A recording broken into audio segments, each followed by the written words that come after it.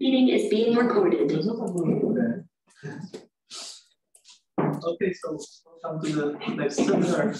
Today's speaker will from speaking actually, I, I believe, from the United Kingdom, uh, from very prestigious and very old university, Cambridge. He's a postdoc with Anuj Dawar, who working in finite model theory, and then we shall we shall see today something uh, from their findings. Okay, so Tomáš.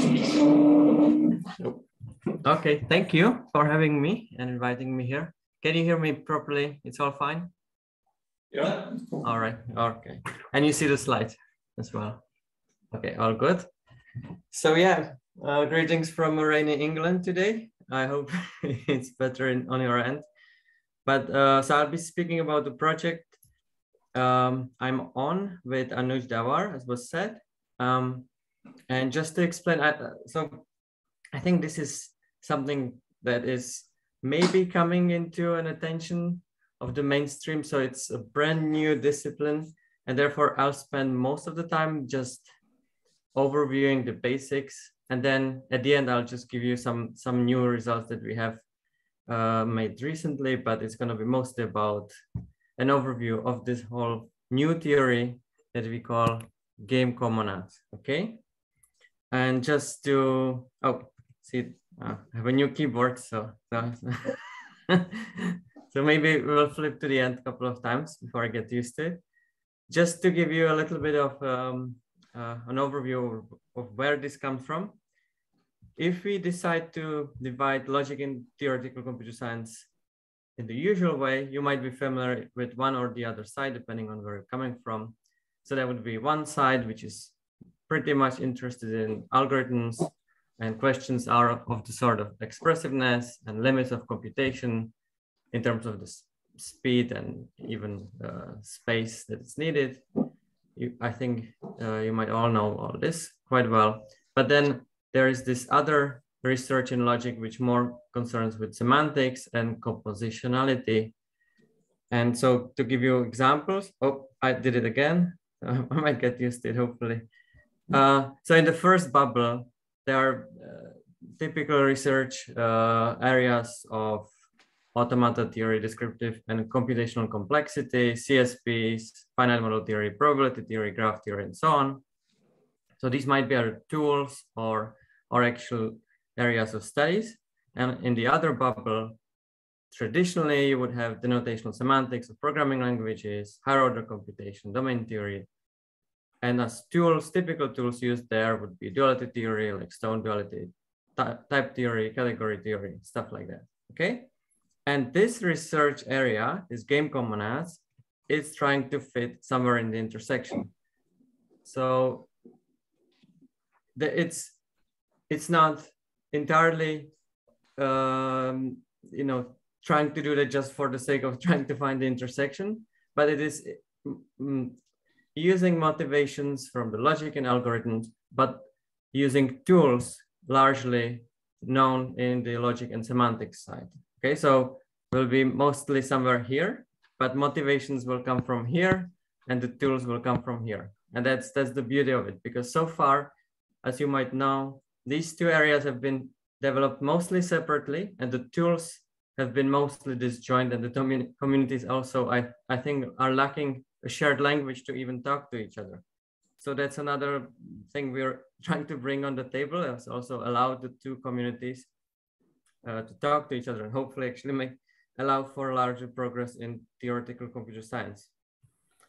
But to give you examples, it's not a unique approach or a unique example of something that's in the middle. We, have seen something that you've definitely heard of would be the algebraic approach to CSP, which was highly successful and um, made the solution to the dichotomy.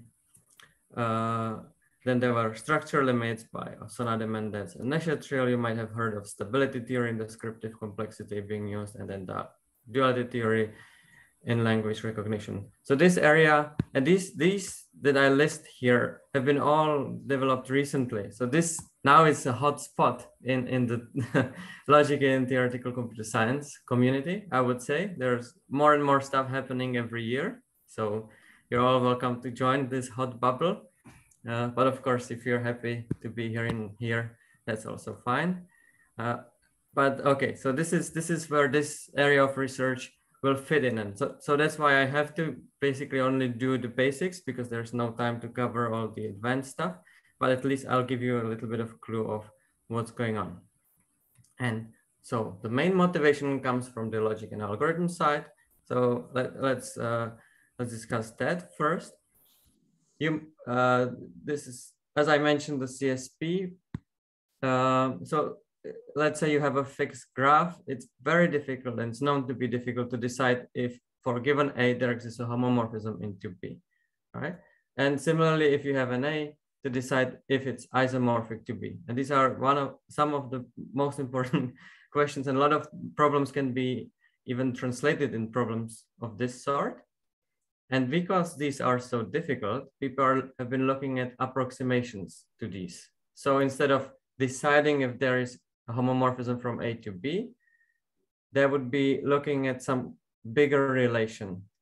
So something where if it doesn't even land here, would there is no hope for homomorphism. So that would be an approximation. And similarly for isomorphism, something that's bigger, maybe easier to compute than isomorphism, or in this case, homomorphism or existence of homomorphism. It's all motivated by trying to simplify our life and trying to find an approximation to these two relations. And one of the well-known approximations of the homomorphism problem, it's going back to 90s and probably even before, I don't know, uh, is this uh, approach of, it's going, uh, it, it's a, it's a way of approximating it through some kind of games or equivalently as was proved by Kolaitis and Vardi also by looking at a logic fragment. So you would have a game, you would call it an existential k-pebble game from A to B. And there are two players, spoiler and duplicator, and duplicator has a winning strategy. That means there is some kind of approximation to homomorphism from A to B, right? I'll speak more about the game next, but it's important to also mention that this game can be explained fully in logical terms. So you would say, uh, you would write it like this, and that, that would just mean that the, for every positive existential k variable sentence, if it's true in A, it will be true in B as well. So that's some kind of um, also approximation of a homomorphism. And to say something about the game, as I promised, so there's spoiler will play on A and duplicator will play on B. So spoiler is always starting in A and spoiler is trying to show that there is no homomorphism from A to B, whereas duplicator is trying to approximate the homomorphism from A to B. And so in every turn, spoiler plays a pebble here, uh, one of the selected K pebbles that there are. So P, P1 to PK, and duplicator responds with his own pebbles on the second structure and has to be a pebble of the same index. So also, I call them here Qi to Qk, but it, the point is that these are indexed by the same numbers, by numbers from one, one to k. And at every turn, we check if duplicator hasn't lost. and we do so by, by saying, okay, so we look at the mapping that are that is given by the pebbles. So the ith pebble mapping to the ith pebble here. If that is a partial homomorphism from A to B, then duplicator hasn't lost yet. And the duplicator wins if it can continue playing this game forever, right? So this, this is a game. And you can notice if there is a homomorphism from A to B, the uh, duplicator has a strategy. It just plays according to the homomorphism, it just follows what the homomorphism does. So this is re really something weaker than having a homomorphism because maybe in this game, du uh, duplicator can play forever, but there would be no homomorphism. That's also possible. But anyway, so this is the game and can be approximated by logic. like or expressed in, in logical terms like here, okay? So yeah. can he like take the pebble already placed and yeah, so the there are only finitely many pebbles. So eventually the spoiler will have to move a pebble somewhere else. Uh, technically speaking, uh, he can also remove it from a board if so if he wishes so but that's not important there are so many variants of this game uh, and they all lead to the same sort of uh, expressibility but uh, in the simplest ways spoiler is placing pebbles and then moving them right okay. And now what started all this research on game semantics is this realization by, by these three, Samson Abramsky, Anuj Dawar, and Peng-Ming Wang in 2017. And they noticed uh, there's some Tom trying to enter the room over and over again. Okay. Just, I don't know. Okay, so the, they noticed that the duplicator strategy in this existential k-pebble game from A to B can be computed purely semantically. So could be decided purely in terms of if there exists a homomorphism from some modification of A into B.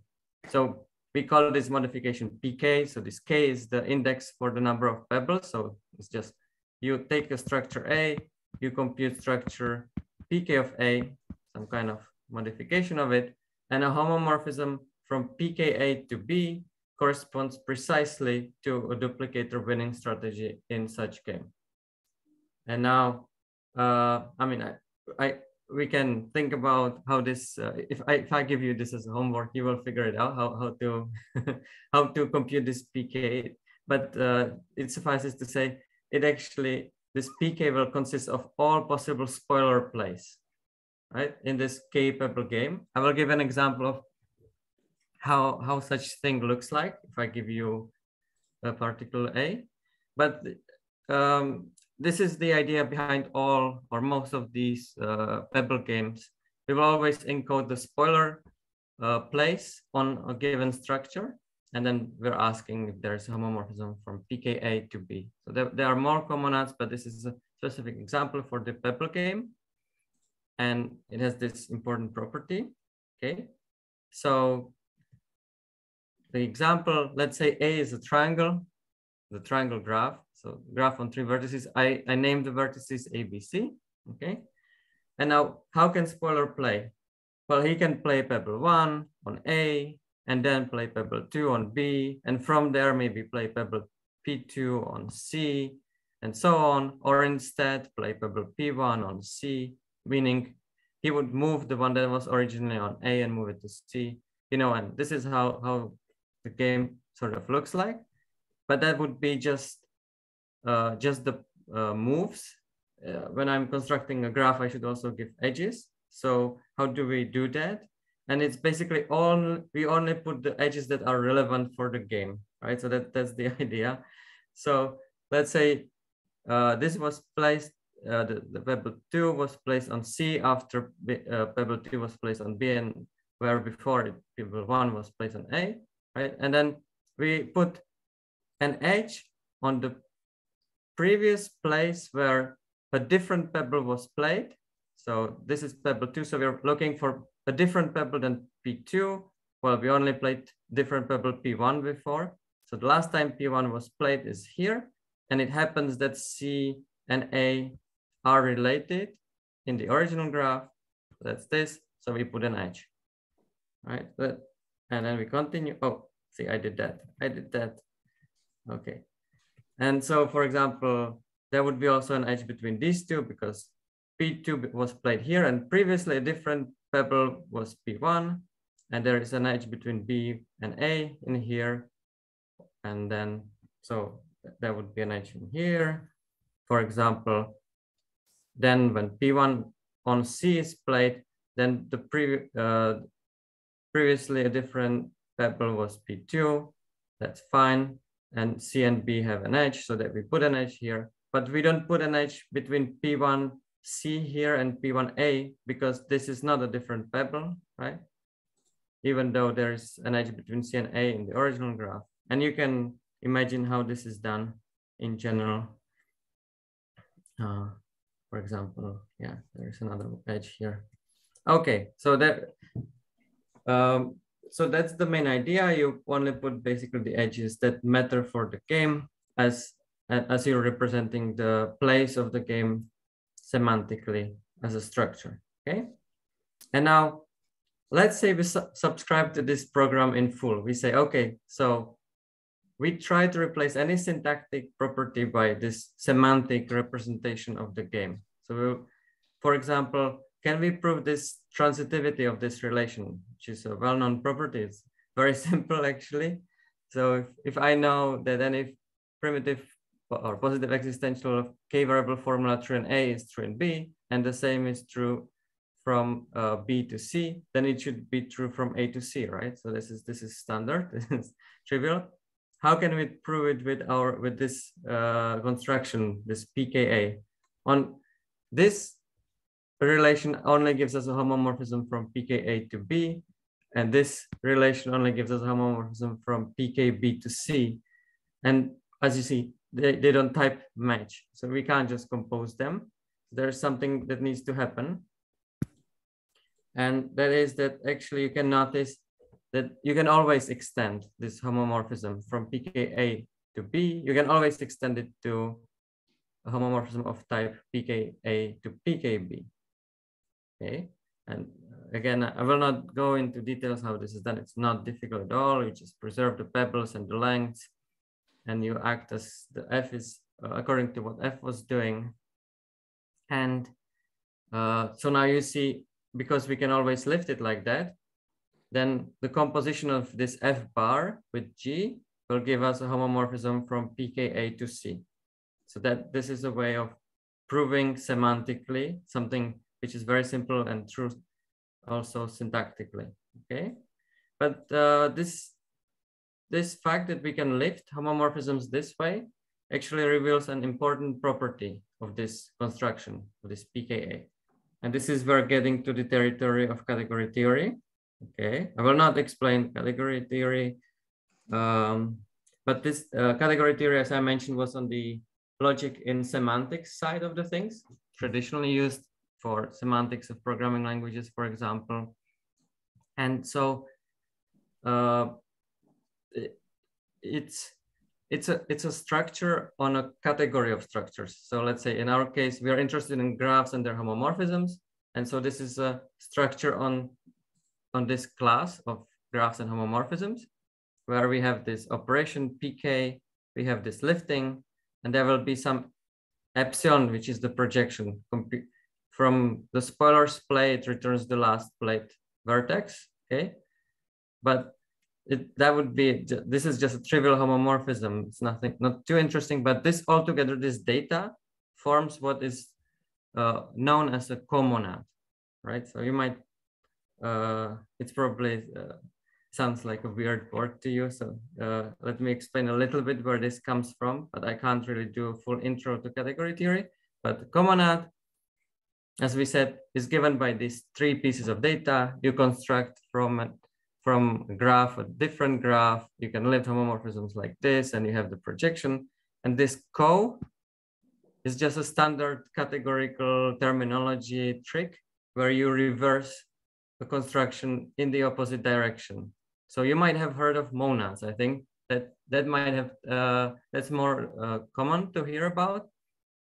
Uh, maybe you study programming languages. They're uh, they're often used to represent uh, effects like in Haskell, but they are also very well known from, al from algebra, from studying algebras, or also uh, topology, compact Hausdorff spaces are actually algebras of, of the ultra filter monad, for example, stuff like that. So this is uh, the dual notion, the monad, where I just flipped everything around. Um, and uh, just to say, uh, algebras really could be represented by monads. Maybe you know uh, monoids, groups, lattices. These are all examples of algebras. You give me a signature and equations. And anytime you have something like that, I can build a monad and then the your monoids, groups, vectors, lattices will that meaning everything in that given signature that satisfies these equations can be represented as an algebra for a monad, right? So the, the, anytime you have a monad, you, you speak about its algebras, right? And that is just homomorphism like this that satisfies these triangles, uh, uh, two identities. But it's just this important and well-known property and well well-studied fact that when we look at algebra uh, algebras, we can represent them as monads and their algebras. Okay. And now going back to algebra, so I told you we have this pk, which represents Euler's place, but we, we notice that it is a co-monad, and now it's a dual to monad. So it's a comonad, which is a du meaning it's a different a dual notion to monad. And with monads, we studied algebra. So now just a natural question is, okay, so we have a co-monad. So what are its co-algebras, which is just the dual notion of algebras as if it was a monad. So everything dualized and you can ask, it's just a natural question. If you study these sort of things, what are co-algebras for this co-monad called PK, the pebble comonad maybe. Yeah. And so you just flip things around and that would be, uh, you know, by definition, would be any homomorphism from A to PK of A that makes these two uh, uh, diagrams commute, right? So if you follow these arrows, you get the identity. And if you follow this arrow and this arrow, you get the same thing as if you follow this arrow and this arrow. Uh, I don't want to go too much into details. I just want to amaze you by saying that this is actually something unexpected comes out of it, or at least it was very unexpected to me. So any coalgebra that exists for A will give you a representation of what can be called a Cape Pebble forest cover. Uh, and if you look at what these things are, that is a, uh, a tree decomp they correspond to tree decompositions of your given graph. So to graph theorist, I think this is the summary. If you have a structure, it has a tree width, which is a combinatorial notion strictly less than k, if and only if there exists a coalgebra for this pk over a, okay? And so in summary, what happened here is we had something motivated by games approximating homomorphisms. We expressed it semantically, fully semantically, we expressed this construct, uh, this, this property uh, as a construction. And we noticed some categorical facts. And not only we noticed that it is uh, telling us something about logic or, or these duplicator strategies, but also it does something for us that it can represent or uh, classify a, uh, a, combinatorial notion, which is that of tree width. So now we have this tight correspondence. We have this pebbling comonads.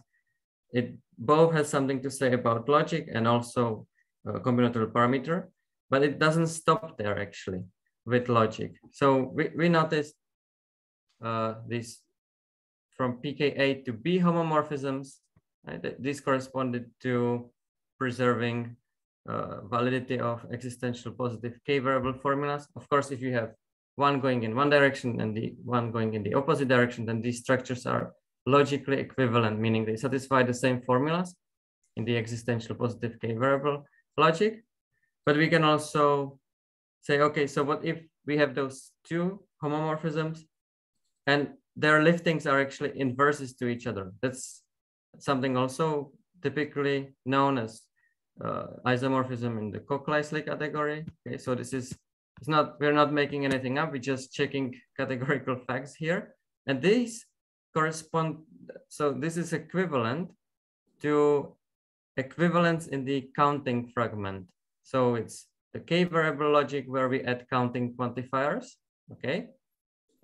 If you know this, just say there exists, I don't know, seven vertices which have an edge somewhere or which satisfy some property. So these are counting quantifiers.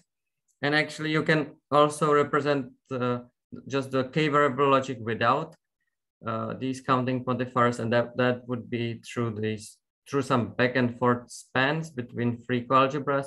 I will not go into the details. So overall, this uh, PK surprisingly captures uh, three logical equivalences and also combinatorial notion. And that was just PK, uh, the PK meaning uh, pebble comonad, but this doesn't stop there. Now there is this research uh, has been going on for uh, here I mean, I say four years maybe, uh, and it, we have more and more comonads almost every day. So there is the Ehrenfeucht-Fraïssé comonad here and modal and pe pebble relation, HeLa, guarded comonad, loosely guarded, hypergraphs and uh, what is it? Uh, bounded, uh, comonad for bounded quantifiers, or oh, this was hybrid, not hypergraphs. And they all have this property that they both capture some combinatorial uh, notion and also a logical fragment of some sort. So there is a lot of things going on and we can now express a lot of things from logic or combinatorics. In fact, when it comes to combinatorics, we can capture almost anything you can think of. So there is uh, this um, uh, recent result of me, Samson Abramsky, and Thomas Paine. And we showed that whenever you have a class of isomorphism class of uh, closed class of structures, delta, if it satisfies this property, that uh, two structures are in the class if and only if their disjoint union is in that class, then there is a comonad that classifies this class. So structure would be in that class if and only it admits a coalgebra. All right, so really almost anything you can think of, examples go, uh, I mean, any monotone or hereditary or minor closed uh, class which is closed under disjoint unions, or if you have a graph parameter which is maxing, for example, you always can define comonads for the, in these situations. Okay, so it's actually typically more difficult to get things that match certain logic fragment uh, of certain logic. Okay, so that and that this would be just like you know if it stopped there, it wouldn't be all that interesting if you could just express things by comonads. But uh, now the question is, can we do something with the comonads? Can we actually prove theorems that matter to people? And here again, uh, I'm just listing things that happened in our program recently. And so telling you to get together with my other co-authors, Anuj Dawar and Luca Reggio, we proved some Lovász homomorphism counting theorems. We proved Dvořák's and Grohe's theorems. And then they took our abstract categorical proof, this uh, Yoav Montacute and Nihil Shah, and used that same result by uh, applying it to the path pebble relation comonad and obtained a corresponding result for path width. For example, so uh, this this is an example of I think how the research should be going on. So you, you give a general proof in terms of category theory, and then you you just test the different comonads that you have, and you get new results just by checking the uh, the assumptions for these comonads. And this is exactly what happened here. Here they also prove homomorphism preservation theorems, very important in finite model theory, and have some, could reprove some old stuff, but also have some new stuff here. Van Benthem theorem also reprove, and Courcelle theorems.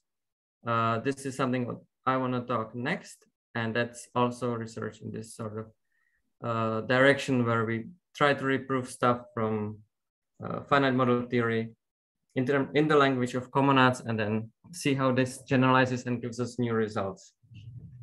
Uh, all right.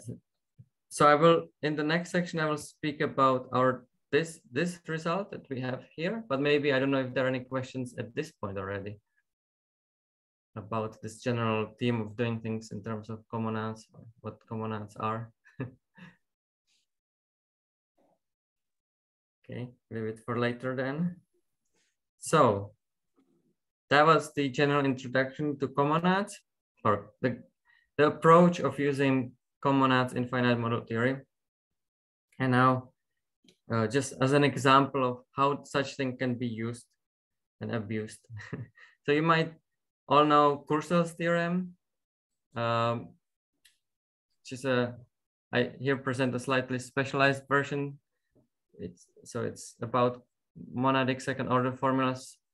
Uh, the, general fact is about counting monadic second order. But anyway, so let's fix uh, monadic second order formula. So that's like first order, but you allow quantifiers over subsets of, of, of the structure. And you also fix a k. And then any graph of tree width at most k. So that, that's a graph parameter that, uh, that this is concerned with. But if you don't know what it is, that's something, uh, a graph parameter. Uh, and it can be defined by the comonads, as I said before. uh, so if you if you if you give me a graph of tree-width at most k, checking whether this chosen fixed MSO formula holds for the graph runs in linear time in the size of G. Okay. So this is Courcelle's theorem from 1990s. Then later with Makowsky, they extended it to graphs of clique width at most k. So that's a different uh, graph parameter. And but it, the result is the same. And just to tell you a little bit how, how the proof goes, they actually noticed that the class of graphs of tree width at most k or clique width at most k can be presented by uh, by giving you some fixed number of graphs that you start from. Let's call them, I don't know, basic graphs, B1, B2, up to, I don't know, BZ, okay? And then any other graph in this class is obtained by taking some of these and applying some operations to them. So maybe this disjoint union would be one of them, right? So we maybe combine B1, B2, and we will stay a graph in that class. So if B1 was of tree width at most K, B2 was of tree width at most K, then there disjoint union is as well. And there are other operations, not just disjoint union. And so you can, if I give you a graph of G uh, of tree width at most K, and you find uh, you in the the algorithm the way it works is first it builds you the way you constructed it from these basic graphs by using these operations. And then so you build the graph. Uh, sorry you build a tree. It's like a term expression by using some operations and these basic graphs. And then you run a tree automaton on this uh, expression. And at the end you you uh, you have your you end up with in some state, and then you just check if that state is uh, is within the those graphs that satisfy the property of not. Okay, so intuitively is how these Courcelle algorithms work. Algorithms. Okay, so and the reason why you can do such a thing, so you will always uh, you, your states of the automaton will be representatives of equivalence classes of these uh, of, of, these um, uh, graphs. Um, but the reason why it works is what they call, or what's usually called Feferman-Vaught and sometimes Feferman-Vaught-Mostowski theorems. So the only reason why it works is because the operations that you use to generate generate your class satisfies the following property. So the disjoint union, uh, it's it looks like follows. So if you have two graphs, A1 and B1, and they are logically equivalent, let's say in MSO, and you have A2, B2, then the disjoint union of A1 and A2 will be logically equivalent in MSO to B1, B2. MSO is the monadic second order logic. All right, so this is something it's very important for the algorithm to work. Um, and in fact, the, you have to check some sort of property like this for every operation that generates your class. So maybe you have an n-ary operation and you will have graphs A1, B1 up to A and Bn, and you have operation op. Then if you apply operation for the on the graphs on the left, you get op a1 up to an, you apply it to operations on the right, assuming these are well pairwise logically equivalent, you require that also the results are logically equivalent. And so this satisfying this property is a form of Feferman-Vaught theorem. So for every operation, you have to check it and prove that it satisfies this theorem. Okay. And so in our approach to Courcelle's uh, algorithm, we needed to check this and we need we we uh, we proved a comonadic version of this uh, Feferman-Vaught type theorem in general for any operation. And so how, how does it look like? So just to give you some sort of idea of how things look like before you get some concrete results, you prove something abstract first and then you instantiate.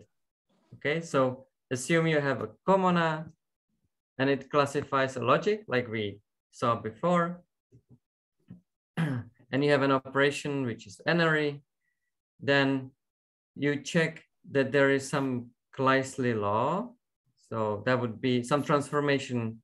So you, you let's say you apply the operations first and then you apply the comonad operation and then you're looking for transformation. So that would be some kind of homomorphism into the operation applied to the comonad applied to its each individual components first, right? So you're somehow transforming from you first apply the operations and then comonad to you first apply the comonad to every component and then the operation. And so that would be some kind of transformation from that to there. If it satisfies some conditions, then you will have uh, a Feferman-Vaught-Mostowski theorem for the existential positive logic. You can the same, yeah. So uh, in order for this to be true, we needed to extend the theory of Jacobs that uh, that is specified for monoidal monads, and we need we extended it to n-ary operations will not go into the details. It's just a well-known categorical machinery to do things like that. Um, and actually the same proof will give us also the same theorem, but for counting logics, like the counting fragments, as I mentioned before. And if we wanted to do the usual fragment, let's say the uh, first order logic without counting quantifiers, um, then we there is some extra thing to, that we needed to check. Uh, so this is something that doesn't follow from the general theory and we had to develop, but I don't have time to explain it actually. Uh, and uh, yeah, so it's just that it's possible as well. And it's extra conditions that we had to come up with. So overall, once you put all these together, you have some sort of abstract Courcelle theorem, comonadic Courcelle theorem maybe.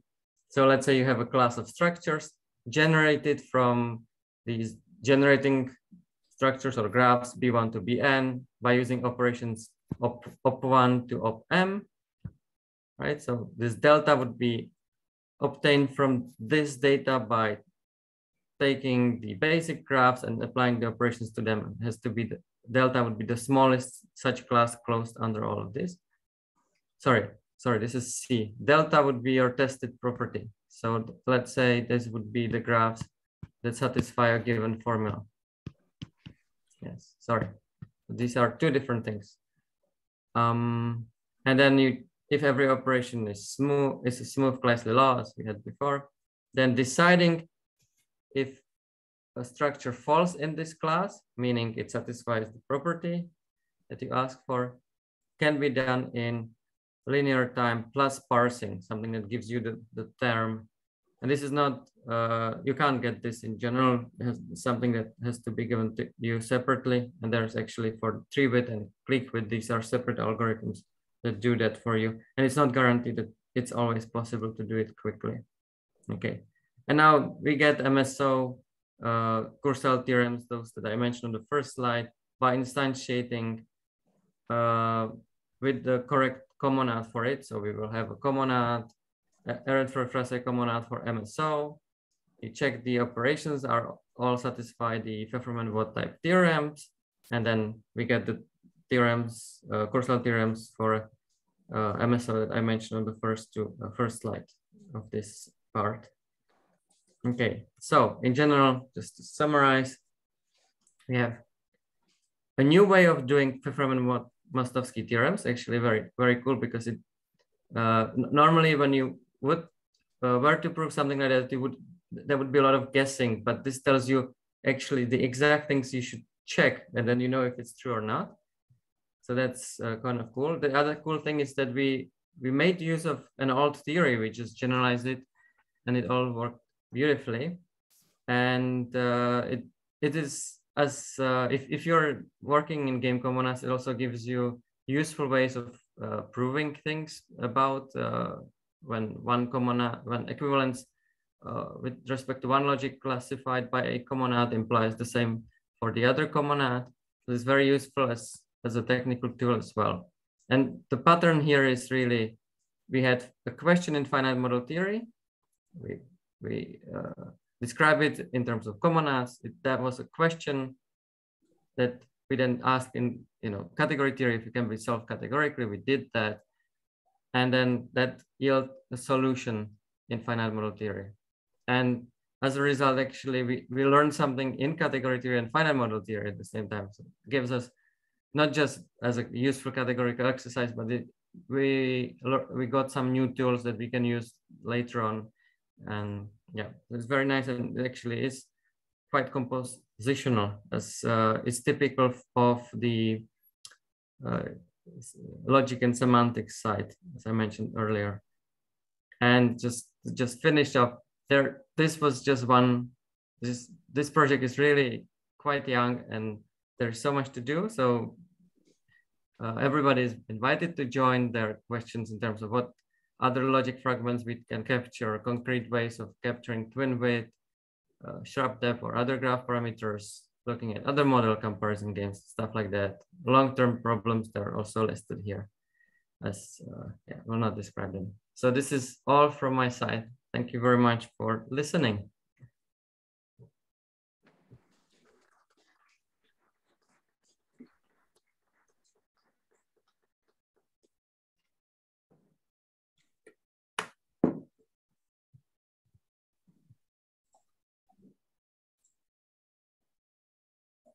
So are there any questions? Okay,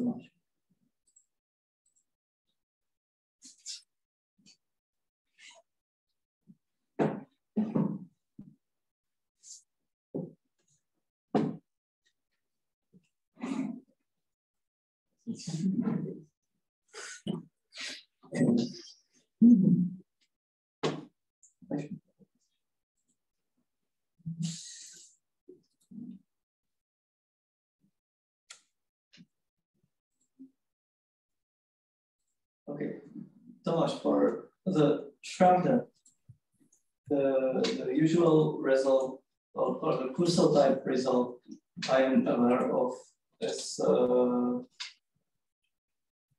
sort of done, done in a way that you compress the structure uh, on on the way towards towards the root yeah, of the decomposition.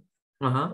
Yeah. It's like, it, seems to be like like uh, rather different than than uh, who simply constructs the the tree automaton. Very interesting. Yeah, I mean, um, this page doesn't necessarily ask you to do Courcelle theorems, right? Just having a comonad for shrub-depth Okay. would be interesting. But of course, that's a, that you're going the step forward. Once you have a comonad, what can you do with it? And that's Courcelle, of course. That's one of the questions of Lovász type theorems, homomorphism preservation theorems, stuff like that. So that's that's interesting. So you say for shrub-depth, there is a Courcelle type theorem? Yes, there is a Courcelle type theorem by uh, I believe by by Uwagojersky and uh, Petr Hliněný. Okay. It was published in LMCS. Okay.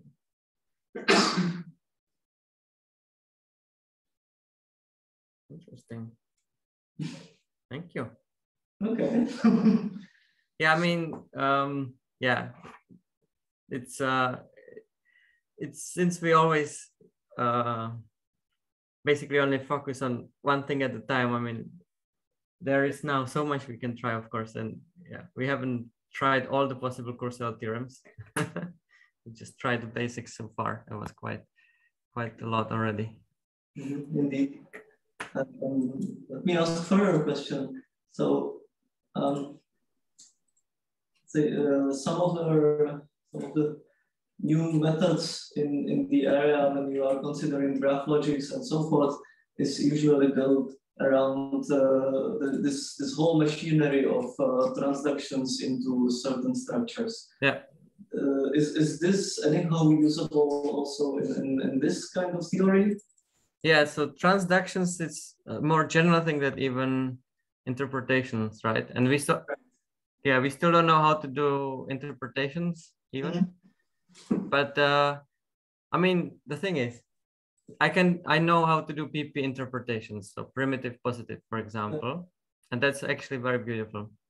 Mm-hmm. Uh, and now the question is,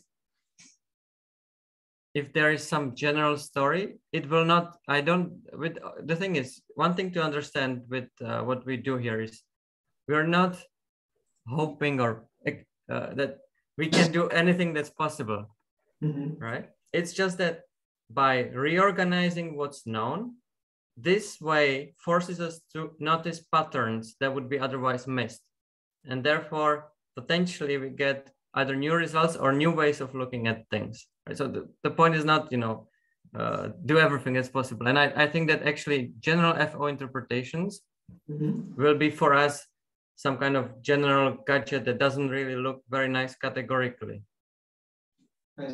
Right? So MSO, in, uh, uh, sorry, FO transductions, that's even gonna be, that's gonna be even worse, right?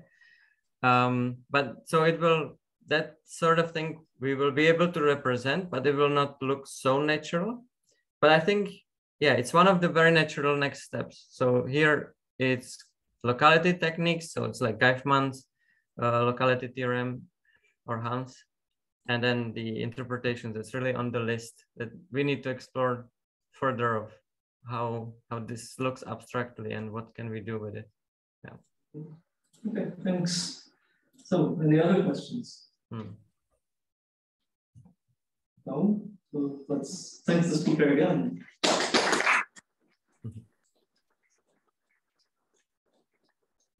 That's it for today.